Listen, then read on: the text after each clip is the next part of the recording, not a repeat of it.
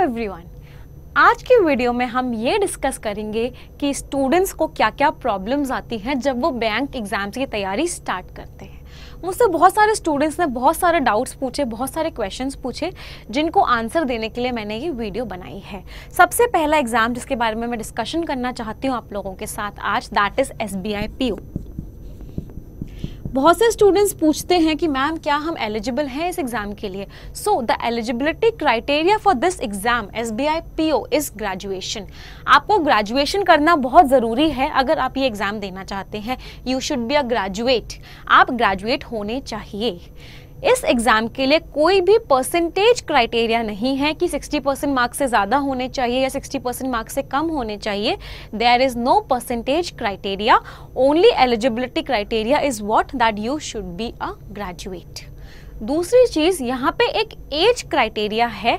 आपकी एज किस से किस लेवल में होनी चाहिए, किस बार में आनी चाहिए? 21 टू 30 ईयर्स आपकी एज 21 टू 30 इयर्स के बीच में आनी चाहिए। 21 से कम है अगर आपकी एज तो आप इस एग्ज़ाम को नहीं दे सकते। आपकी एज अगर 30 इयर्स से ज़्यादा है तो आप इस एग्ज़ाम को नहीं दे सकते। बेसिकली हमारे इस एग्ज़ाम में तीन राउंड्स होते हैं। First is your pre second is your mains and third हमने बोला group exercises and your interview आपको ये तीन स्टेजेस में एग्ज़ाम देना होगा pre mains group exercises and your interview pre जो है क्वालिफाइंग नेचर का होता है मतलब आपके मार्क्स फाइनल आपकी मेरिट लिस्ट के लिए काउंट नहीं होते.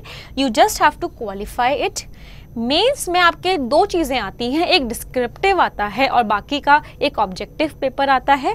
फिर ग्रुप एक्सरसाइजेस ग्रुप डिस्कशन हो सकता है इंटरव्यूज़ में आपसे क्वेश्चंस पूछे जाते हैं face to face so this is the basic structure for the exam ये हमारा बेसिक स्ट्रक्चर है एग्ज़ाम का। कंप्यूटर से एक बार पीपीटी ओपन कर दीजिए। अगर हम एग्ज़ाम का पैटर्न देखें, अगर मैं प्री एग्ज़ाम का पैटर्न देखूँ तो हमारे तीन सेक्शंस हैं English language quantitative aptitude and reasoning आपके बेसिकली तीन सेक्शंस हैं apti your English and your reasoning number of questions की अगर हम बात करें इंग्लिश में आपके थर्टी क्वेश्चन आते हैं क्वांट में आपके थर्टी फाइव क्वेश्चन आते हैं रीजनिंग एबिलिटी में आपके थर्टी फाइव क्वेश्चन आते हैं। आपको सेक्शनल टाइम दे रखा होता है ट्वेंटी मिनट्स में आपको हर सेक्शन करना है twenty minutes for English twenty minutes for quants and twenty minutes for your reasoning आपको एक घंटा दिया जाएगा, जिसमें आपको 100 क्वेश्चंस को अटेम्प्ट करना है।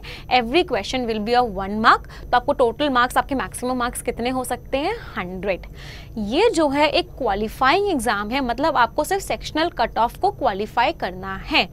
दूसरी इंपॉर्टेंट चीज़ नेगेटिव मार्किंग इसमें होती है वन बाय फोर्थ मार्क की इसमें नेगेटिव मार्किंग होती है। नेक्स्ट स्लाइड प्लीज़ अगला एग्ज़ाम आपका मेंस एग्ज़ाम आपने प्री क्वालिफाई कर लिया, उसके बाद आपको मेंस एग्ज़ाम देना होता है। इसमें आपके चार सेक्शंस हैं। फ़र्स्ट इज़ रीजनिंग रीजनिंग आपकी 45 questions data analysis and interpretation you have 35 questions general economy and banking awareness you have 40 questions and English there are thirty five question हमारा प्री एग्ज़ाम हंड्रेड मार्क्स का था, लेकिन हमारा mains exam यहाँ पे to hundred marks का होता है। हमारे पास तीन घंटे होते हैं। We have three hours to solve this section इसके अलावा हमारा एक डिस्क्रिप्टिव एग्ज़ाम भी होता है, जहाँ पे हमें एक ऐसे लिखना होता है और एक लेटर लिखना होता है। उसके बाद जो थर्ड राउंड होता है, वो हमारा ग्रुप डिस्कशन और उसके बाद हमारा इंटरव्यू राउंड होता है। नेक्स्ट एग्ज़ाम की बात करते हैं that is S clerk talking about S B I clerk exam यहाँ पे जो आपकी एज लिमिट होती है that is twenty two twenty eight इस बीच में आप एग्ज़ाम को दे सकते हैं। अगर मैं एलिजिबिलिटी क्राइटेरिया की बात करूँ eligibility criteria still the same graduation आपको कंप्लीट करनी होगी. You should be a graduate आप ग्रेजुएट होंगे. परसेंटेज क्राइटेरिया कोई भी नहीं है कि इतने मार्क्स आने चाहिए ग्रेजुएशन में. ऐसा कुछ भी नहीं है.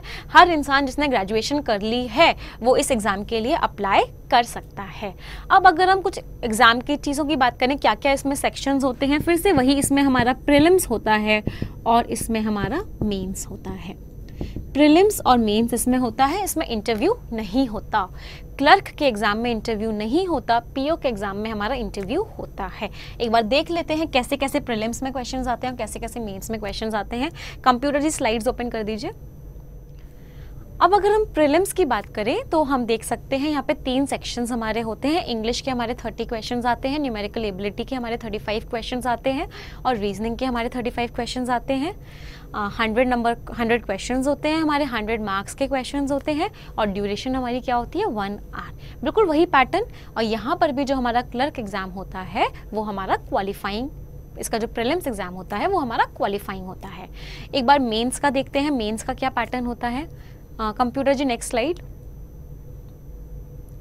मेंस में हमारे चार सेक्शंस आते हैं general and financial awareness English aptitude and reasoning number of questions 190 होते हैं, लेकिन जो मार्क्स है 200 marks then duration two hours 40 minutes इसके अलावा हमारा डिस्क्रिप्टिव का एग्ज़ाम भी होता है, जिसमें हमें फिर से हमारा ऐसे और लेटर राइटिंग आता है. अब बात करते हैं आईबीपीएस क्लर्क की और आईबीपीएस पीओ के एग्ज़ाम्स की. अगर मैं आईबीपीएस पीओ के एग्ज़ाम की बात करूँ अब अराउंड 23 बैंक्स हैं जो यहाँ पे पार्टिसिपेट करती हैं इस एग्ज़ाम में। अगर मैं एज की बात करूँ द एज इज़ 20 टू 30 जो हमारा एज क्राइटेरिया है, वो फिर से वही है 20 to 30 years of age is are criteria pattern भी वही सिमिलर है प्रिलिम्स होगा, फिर मेंस होगा, फिर आपका इंटरव्यू होगा। एक बार देख लेते हैं आईबीपीएस पीओ के लिए क्या एग्ज़ाम पैटर्न है? कंप्यूटर जी पीपीटी पीछे करिए यहाँ पे भी हमारा एकदम सिमिलर पैटर्न है। हंड्रेड क्वेश्चंस होंगे हंड्रेड मार्क्स होंगे और आपके पास वन आवर का टाइम होगा। नेक्स्ट स्लाइड प्लीज़ मेंस में हमारे 190 क्वेश्चंस होंगे 200 मार्क्स के होंगे। हमारे पास टाइम कितना होगा? 160 मिनट होगा। आप पूरा पैटर्न देख सकते हैं। अब अगर मैं आईबीपीएस क्लर्क की बात करूँ आईबीपीएस क्लर्क की जो एज लिमिट होती है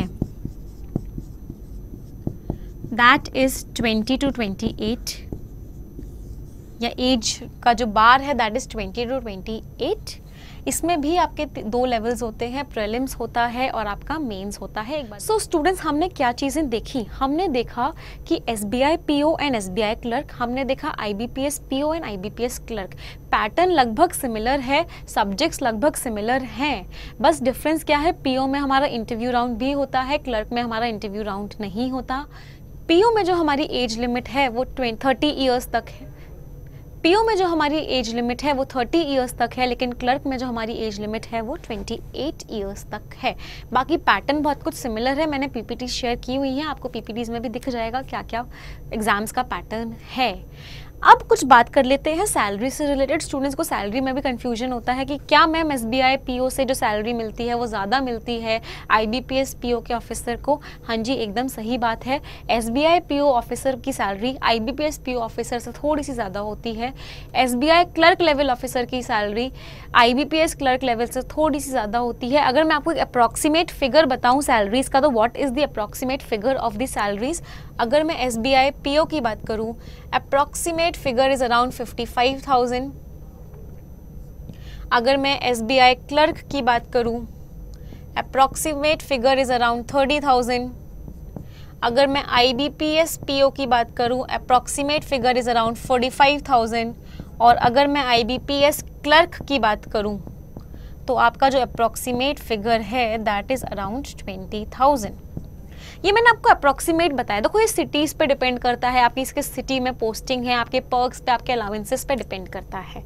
So this is the approximate figure so students work very hard time बिल्कुल नहीं है आप लोगों के पास। कंपटीशन बहुत है एक एक सेकेंड बहुत कीमती है। Start working from today thank you